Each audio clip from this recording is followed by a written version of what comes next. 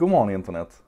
Idag tänkte jag att vi skulle prata om Amazons nya mikrovågsugn. Eh, den uppkopplade mikrovågsugnen som du kan prata med.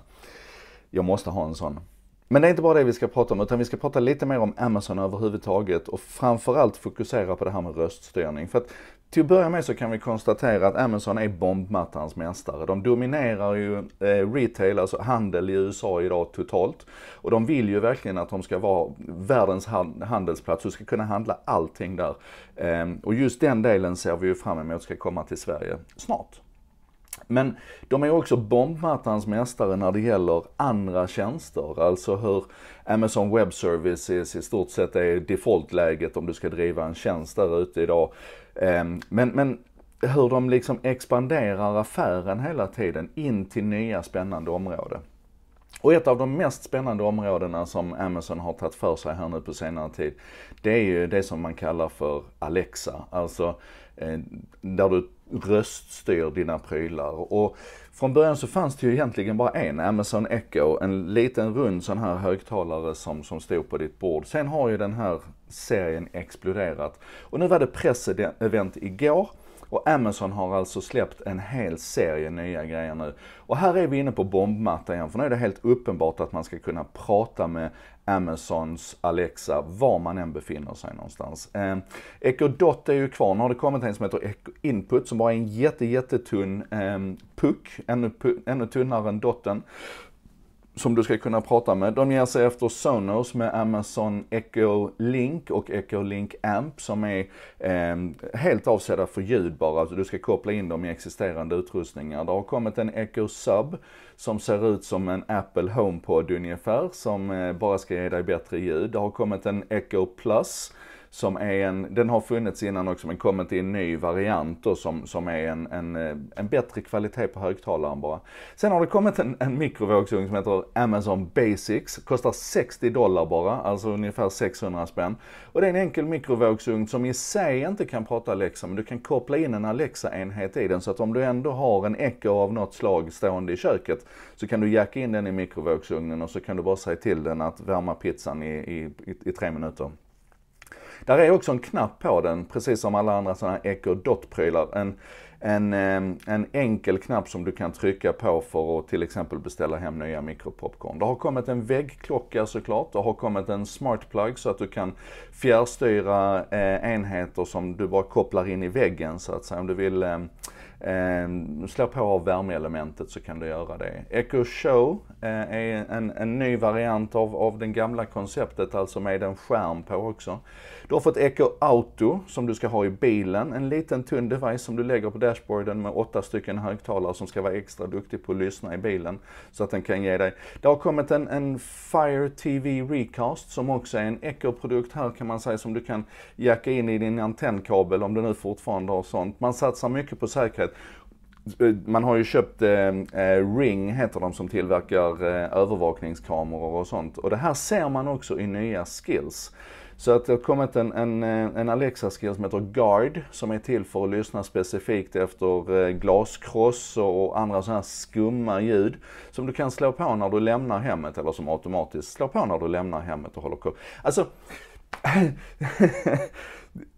de gör så mycket. Och det, det, är inte bara prylarna då, utan det är som här nu med Alexa Guard, att man tittar även på, på bombmattan när det gäller skills och hur vi kommunicerar med dem. Det till, finns till exempel en whisper mode, så att om du, om du viskar till din Alexa så viskar den tillbaka. Det är naturligtvis bra på kvällen.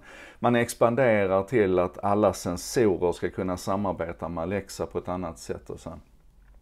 Och det här är, det här är otroligt spännande för att Amazon gör det här så bra. Och även om långt ifrån alla av de här produkterna kommer att slå så är det ingen tvekan om att om du bor i USA idag så kommer du vilja ha det här totalt alexafierade hemmet. För att friktionen blir så låg när du var som helst bara kan, kan prata med din pryl. Och här har Google en utmaning för att de försöker ju med sin assistant nå in i det här ekosystemet av, av talade kommandon och, och levererade tjänster. Men bara som ett exempel, min, min Google Home den kan inte titta in i min kalender och i min mail eftersom av någon anledning så, så, så stödjer inte Google Assistant G Suite, alltså den professionella mail och kalenderlösningen som, som Google har. Det gör däremot Alexa. Så att Amazons Alexa kan titta in i min Google Mail och min Google-kalender men det kan alltså inte Google Assistant göra. Och tills de har löst det så spelar det ingen roll att, att Google är fantastiska på många andra sätt med sin Assistant. Den är till exempel, Google är faktiskt bättre på att ha en konversation med mig än, än vad Alexa är. Jag kan till exempel säga så här. Um, Okej okay, Google, who's the president of the United States? The president of the United States of America is Donald Trump. Who's his wife?